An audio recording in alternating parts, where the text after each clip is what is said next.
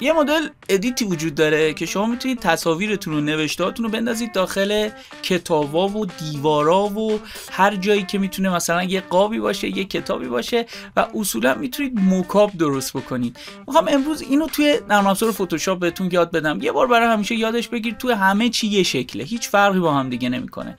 از من بشنوید. بله.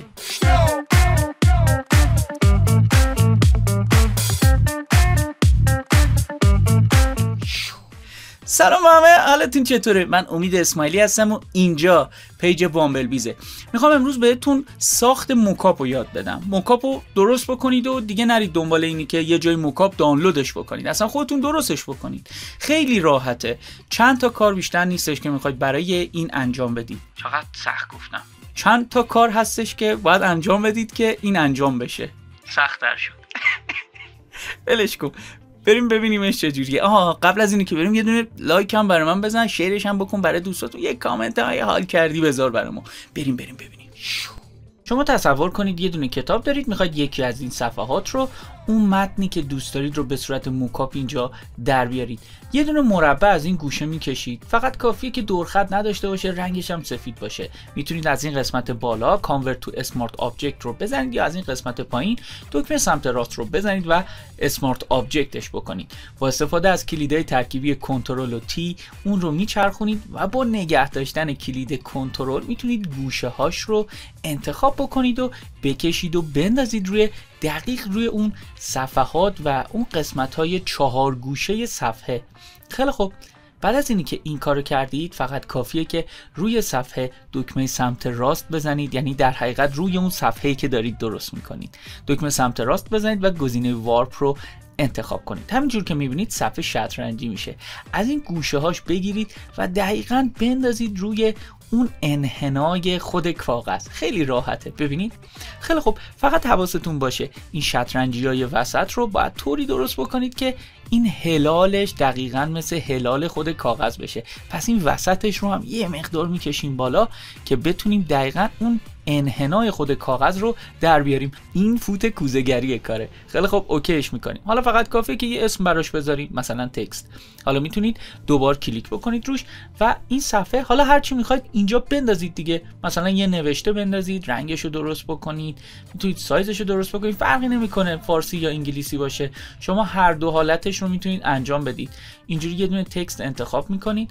سایزش رو کوچیک و بزرگ می‌کنید. اونقدری که دوست دارید حالا من یه مقدار سرعت کار رو بیشتر می‌کنم اینجا شما حتی می‌تونید با استفاده از این گزینه پلیس امبدد یه دونه عکس هم اینجا اضافه بکنید. دقیقا یه دونه پرونده برای شما باز شده داخل فتوشاپ و شما می‌تونید هر کاری که دوست دارید اینجا انجام بدید. و بعد از اینکه روی گزینه ضبط در بزنید و سیوش بکنید همونجور که می‌بینید تصویر شما افتاده دقیقا روی کاغذ. خیلی خوب. از این قسمت سمت راست بلندینگ مودش رو روی حالت دارکن می‌ذاریم.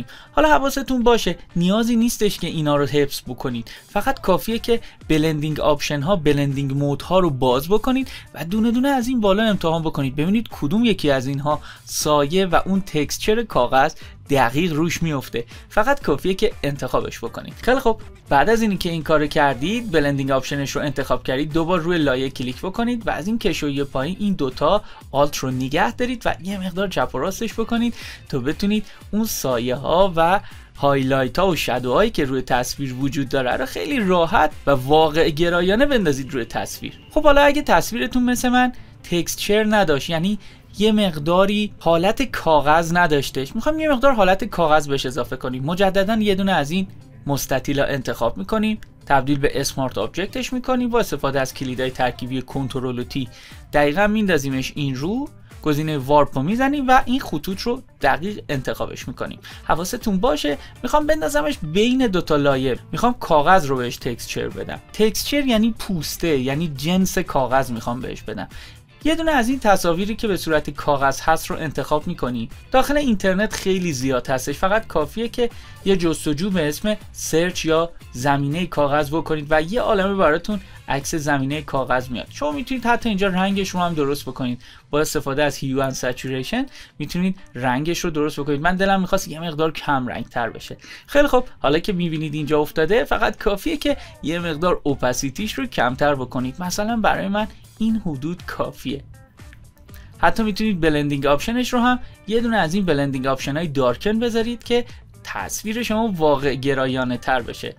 حالا حتی برای edit ش دیگه نیاز نیستش که همه این پروسه رو انجام بدید. روی قسمت لایه روی هر کدوم double click بکنی وارد قسمت لایه هاتون میشید و تموم. اینجا می‌تونید هر edit ی که دوست داشتید انجام بدید. مثلا من می‌خوام اینجا عکسم رو عوض بکنم.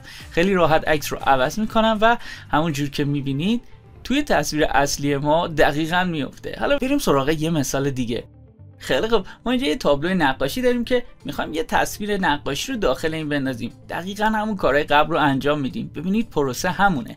شما می‌تونید با کشیدن یه دونه مستطیل و با استفاده از کلیدای کنترل و تی سایزش رو درست بکنید و با نگه داشتن کلید کنترل می‌تونید از گوشه هاش بگیرید و روی تصویرتون دقیقا منتاجش بکنید. دقیق دقیق. خیلی خوب. حالا فقط کافیه که دو بار روش کلیک بکنید و عکس مورد نظرتون رو داخلش بندازید. گزینه تیک رو می‌زنید و تموم. ضبط رو بزنید می‌بینید که دقیقا تصویرتون افتاده اینجا.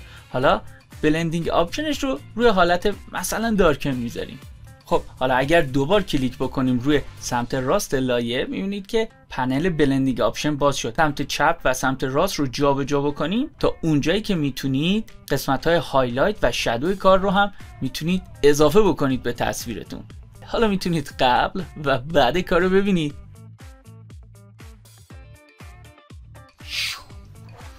خیلی خوب. دمتون گرم که ببینید. دمتون گرم که تا اینجای کار نگاه کردید. امیدوارم دوست داشته باشید. لایک و کامنت و شیرش بکنید. اگه از یوتیوب نگاه می‌کنید حتما اون دکمه قرمز subscribe رو بزنید.